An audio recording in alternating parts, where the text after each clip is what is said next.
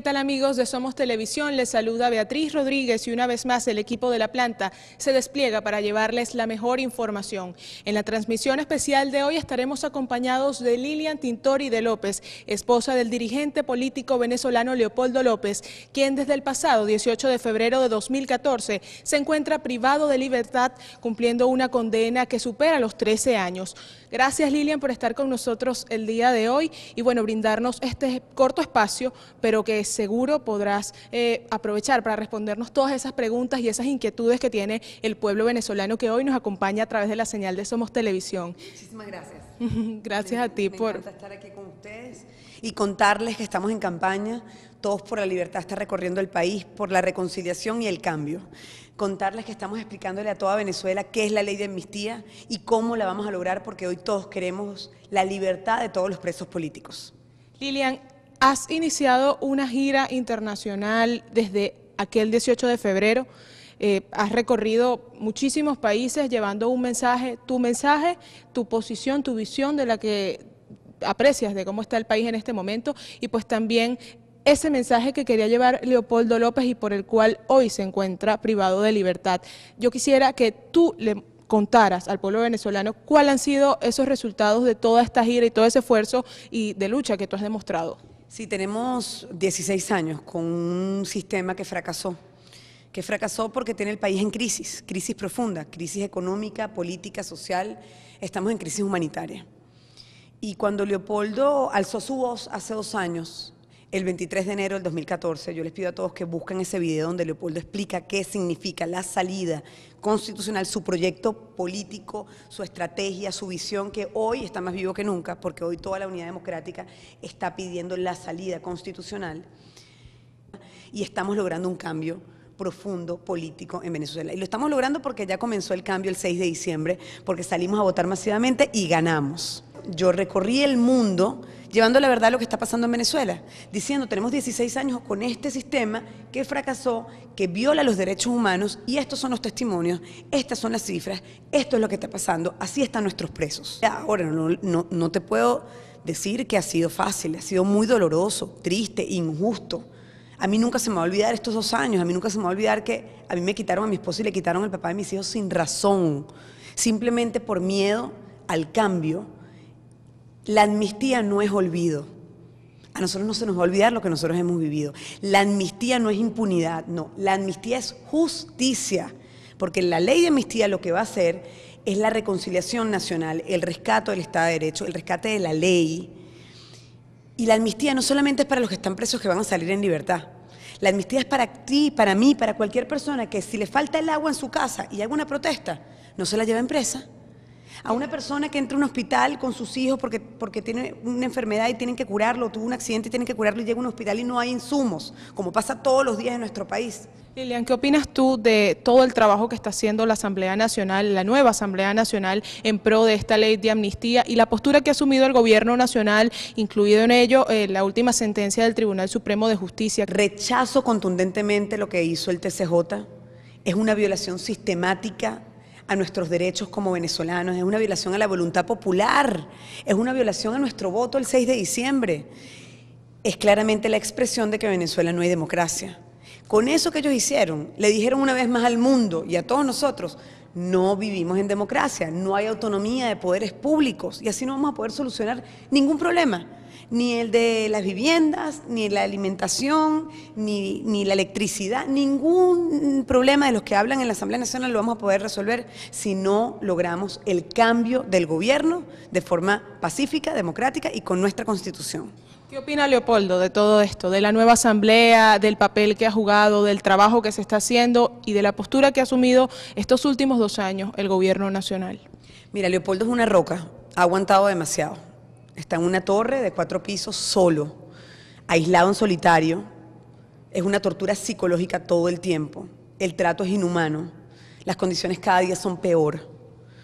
Nosotros hemos tenido que denunciar hasta el coronel de la cárcel por, porque nos ha hecho acoso y violación a nuestros derechos y la fiscalía, que sí responde, porque nosotros nos respondieron, o sea que sí queda justicia, sí hay trabajo en Venezuela que se puede rescatar, nos dieron medidas de seguridad para protegernos como mujeres en la cárcel militar de Ramo Verde, como lo tienen que hacer con todas las mujeres, porque hoy las cárceles son inhumanas en todo nuestro país.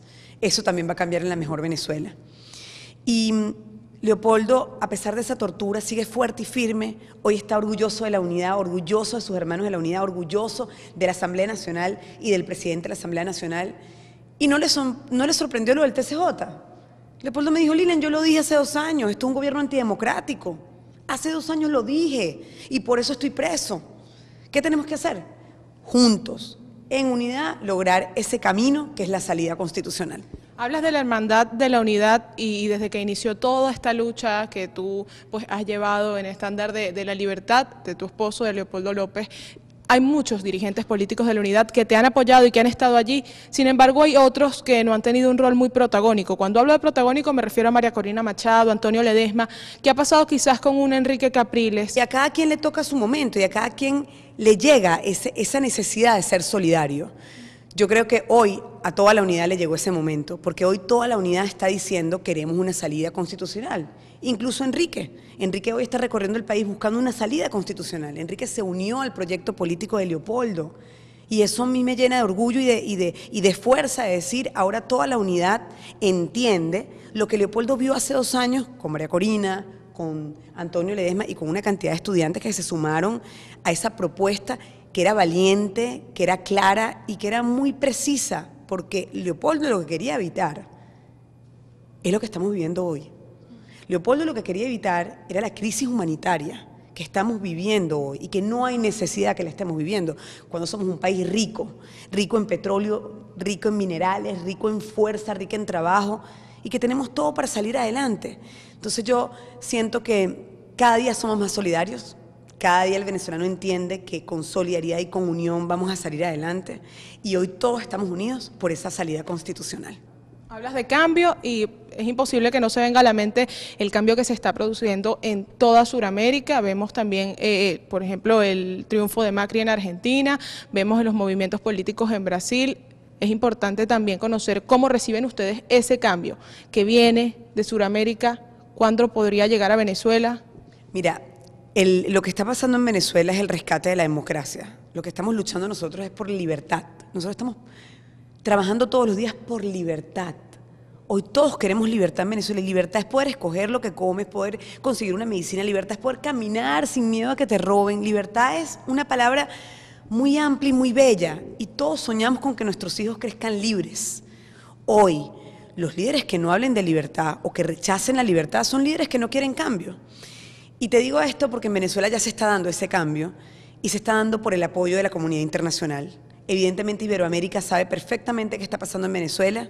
Los países han sido solidarios, los líderes, senadores, diputados, vicepresidentes, presidentes de Latinoamérica, el presidente Macri en Argentina, el presidente Horacio Cartés en Uruguay, vicepresidente Biden de los Estados Unidos, presidente, em, primer ministro de Canadá, presidente de España, Mariano Rajoy. Es decir, hay tanta gente que se ha sumado a la causa y dicen, lo de Venezuela es insólito, no pueden seguir así, maltratando al venezolano, hay que rescatar la democracia, hay que darle un freno a la violación de los derechos humanos. Vamos a salir de esto y vamos a salir con la ayuda de la comunidad internacional porque Venezuela fue solidaria como país para Chile, para Perú, para Brasil cuando ellos estaban en dictadura. Nosotros lo que nosotros hacemos cuando viajamos es pedir solidaridad es decirles ayúdennos porque lo necesitamos. Lilian, yo quisiera tocar un tema del que hablabas anteriormente y era de las denuncias que se han realizado por violación a los derechos humanos durante tus visitas que, realizas a Ramo, a Ramo, Verde. Quisiera que nos comentaras si eso ha continuado a pesar del amparo que otorgó la Fiscalía como mujeres que realizan visitas a estos centros penitenciarios, conocer si de alguna forma se ha respetado ese amparo realmente. Sí, la seguridad eh, que nos dieron, la medida de seguridad, nos dieron eh, eh, específica para que el coronel de esa cárcel no se nos acerque. Y eso se ha cumplido. Ahora, el trato en la cárcel sigue siendo igual. A mí me siguen grabando todas las visitas en audio y en video, a mis niños también. Leopoldo está aislado, en solitario, no tiene correspondencia privada, no lo dejan escribir, no lo dejan hablar, todo el tiempo nos están grabando, es decir, las condiciones son inhumanas y violatorias a nuestros derechos humanos. Y así lo vamos a seguir denunciando en todas las instancias. Se ha querido señalar por parte del Ejecutivo Nacional a Leopoldo López como el responsable de las más de 40 muertes que se registraron en febrero de 2014. ¿Cómo llevar eh, este proceso en donde se ha querido señalar a tu esposo eh, como el responsable de todas estas muertes, de estas víctimas y pues también cómo ha manejado él ese tema de la conciencia estando en esas circunstancias en las que tú expones que quizás son muy precarias dentro de Ramo Verde? Mira, en primer lugar, Leopoldo es inocente. Su conciencia está limpia, clara, viva. Leopoldo espera una ley de amnistía para que se aclaren los hechos, pero no para pedir perdón, porque Leopoldo no tiene que pedir perdón por ninguna muerte porque Leopoldo no mató a nadie, Leopoldo no tiene nada que ver nada, y no hay ni una prueba ni un testigo durante un juicio que se hizo largo de un año y un mes injusto, con ningún hecho violento. ¿Hubo violencia en el 2014? Sí. ¿Por qué? Porque hubo represión de las manifestaciones. ¿Y quién mandó a reprimir las manifestaciones? El gobierno, el régimen de Nicolás Maduro. Esa es la verdad. Como te digo, estamos esperando la comisión de la verdad como venezolanos y no hay comisión de la verdad. Ahora no quieren hablar porque no quieren que salga la verdad. Y la verdad es que en Venezuela no hay justicia, la verdad es que en Venezuela hubo represión brutal, tanta represión que hasta cárcel tuvieron que pagar nuestros líderes y siguen pagando nuestros estudiantes. Esa es la verdad que hoy todo el mundo conoce y que todos los venezolanos la sabemos. Por eso lucharemos por una ley de amnistía, para pasar hacia adelante, buscar la reconciliación nacional y el rescate del Estado de Derecho y la institucionalidad. Lilian, ¿qué le dices a esas personas que aún no creen en la ley de amnistía y que quizás escuchan ese discurso que responsabiliza a Leopoldo López de los hechos del pasado febrero de 2014? ¿Qué podrías decirle a ese pueblo venezolano? Yo les digo a ese pequeño grupo que todavía no entiende o que se deja llevar por la línea política del régimen de Nicolás Maduro, que es una línea agresiva, violenta, intimidatoria, es, está llena de odio y lo rechazamos, es que entiendan que han querido eliminar políticamente a Leopoldo y a nuestros líderes políticos y a la unidad para no lograr el cambio. Nosotros lo que queremos es un cambio en Venezuela, es vivir mejor, es progreso, es paz, es tranquilidad. Y los que hoy frenan la ley de amnistía son los que destrozaron a nuestro país. Los que hoy no quieren la ley de, la amnistía son las mismas personas que hicieron este ataque, esta persecución, esta, esta, esta, represión en nuestras calles y que hirieron, mataron y torturaron a nuestros venezolanos, son los mismos. Nosotros queremos claridad de los hechos. Leopoldo asume la responsabilidad absoluta de su proyecto político de la salida constitucional. Leopoldo sí llamó a la protesta, a la protesta pacífica y organizada, para lograr un cambio político. Y dos semanas después que llamó a la salida constitucional lo metieron preso. Y luego, Leopoldo preso en Ramo Verde, aislado, fue que ocurrieron todos los hechos violentos que ordenó Nicolás Maduro desde el gobierno. Esa es la verdad. Y si eso no es la verdad, yo quiero ver las pruebas y los hechos. Y hoy no hay ni pruebas, ni testigos, ni hechos que indiquen lo contrario. Entonces sí queremos justicia, sí queremos verdad, sí queremos libertad y sí queremos un mejor país. De estar con vida el expresidente Chávez, ¿crees que la historia sería la misma? ¿O quizás ya se habría reflexionado en torno a una ley de amnistía? Mira, al el presidente Chávez le dieron un indulto presidencial. Él lo pidió, la familia lo pidió y a él se lo dieron y él reconoció que él fue el responsable de muchas muertes por un golpe que se dio. Es, es algo pues natural en el presidente difunto que entienda que los procesos de amnistía en una situación tan complicada como esta, política, que además él tendría la claridad de que estos presos políticos son inocentes, por supuesto que empujaría una ley de amnistía.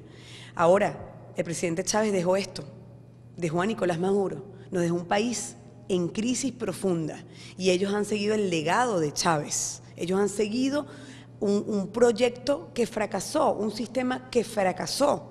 Y yo lo que les puedo decir a los chavistas con mucho cariño y con mucho amor es que todos somos hermanos que busquemos una solución, que no nos quedemos en el pasado, ni el que hubiese hecho Chávez, no.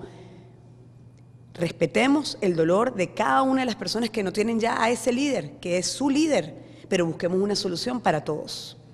La oposición aquí en Lara, encabezada por el gobernador Henry Falcón, ha propuesto un gobierno de acuerdo nacional en el que permiten que sea encabezado por representantes de la oposición de la Mesa de la Unidad Democrática y también por algunos representantes del, representantes del Partido Socialista Unido de Venezuela.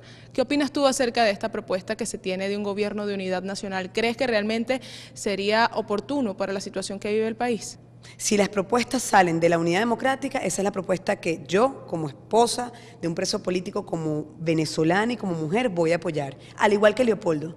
Leopoldo es parte de la unidad democrática, ha empujado por años la unidad democrática y toda propuesta que salga de la mesa de la unidad, esa va a ser la propuesta en donde nosotros nos van a ver impulsándonos, trabajando unidos, juntos hasta lograrlo. Dos últimas preguntas breves.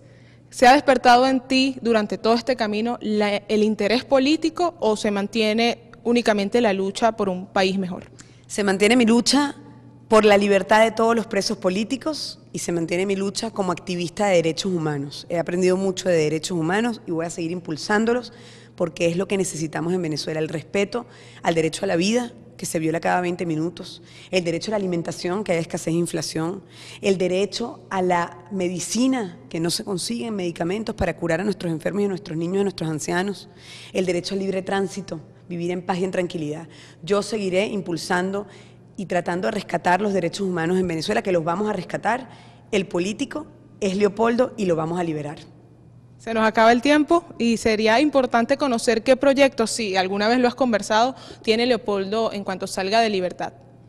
Recorrer el país de punta a punta, llevar el proyecto La Mejor Venezuela, que muchos lo conocen, y en la cárcel ha profundizado en su proyecto, en esa visión país que tiene, donde los hospitales curen, las escuelas eduquen, donde tengamos autopistas de dobles canales con productos, que camiones que atraviesen Venezuela con productos hechos en Venezuela, que no nos falte más comida ni medicinas, que tengamos una producción nacional fuerte, que recuperemos la confianza, que se vuelvan todos los exiliados y todos los jóvenes y que la familia venezolana se encuentre y que más nunca haya que llorar un muerto porque tenemos una cantidad de, familias destrozadas por la inseguridad. Tenemos que rescatar a nuestro país Leopoldo tiene esa visión, tiene cómo hacerlo, está preparado para hacerlo y apenas salga de esa cárcel va a recorrer el país y llenarnos de esperanza, de fuerza y de fe. Bien, gracias Lilian por tu tiempo y por brindarnos en esta entrevista. Realmente espero que pues esta historia tenga el desenlace más justo y positivo para ti y para todos los venezolanos. Gracias por estar con nosotros hoy. Gracias a ustedes. Y gracias a ustedes por siempre confiar en nosotros para recibir la mejor información a través de la señal de Somos Televisión. Quien les acompañó, Beatriz Rodríguez, y será hasta una próxima oportunidad. Con estas informaciones damos por finalizada la emisión estelar de Somos Noticias. Recuerden que pueden visitarnos a través de nuestra cuenta en Twitter, arroba Somos los Medios. De igual manera se pueden informar a través del periódico digital noticiasbarquisimeto.com. La invitación es para que continúen con la programación que ofrece Somos Televisión. Los acompañó Daniel Hernández. Feliz fin de semana.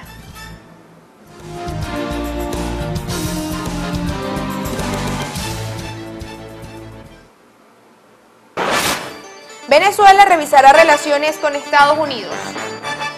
Inversión, inauguran planta termoeléctrica en Barquisimeto. Funcionarios del SUNDE deben colaborar con el despacho de los alimentos. Lilian Tintori conversó con nuestra compañera Beatriz Rodríguez en entrevista especial.